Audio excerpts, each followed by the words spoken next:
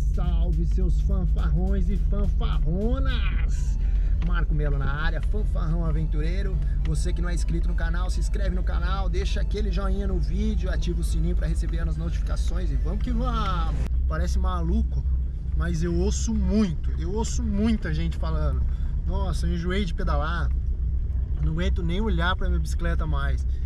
O que, que acontece? Quando você começa a pedalar, o, a sensação de liberdade é muito grande, muito grande.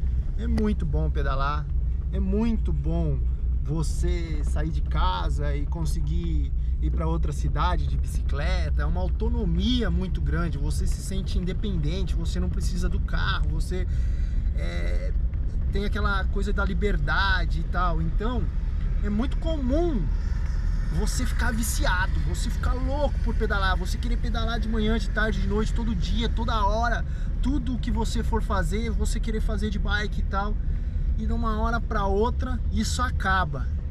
Essa, essa vontade de pedalar, isso passa e você fala assim: nossa, não aguento mais pedalar, não quero mais.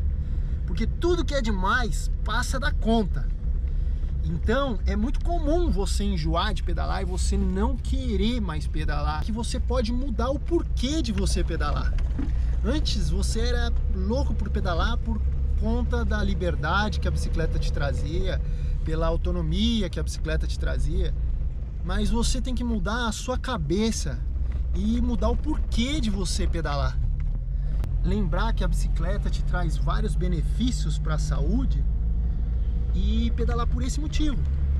Vai correndo um dia, no outro você pedala, pedala uma vez por semana, daqui a pouco vai te dar vontade de pedalar de novo, aí você volta de novo com aquela euforia, com aquela vontade de novo, dá um tempinho para sua cabeça, às vezes a gente enjoa mesmo, aí depois a gente volta com tudo. Não vende a bicicleta, deixa ela ali, vai pedalando menos e tal vai fazer caminhada, vai fazer academia. Academia, a musculação é muito importante, é a base para qualquer outro esporte. Muda o jeito de pensar, mas não desiste do esporte.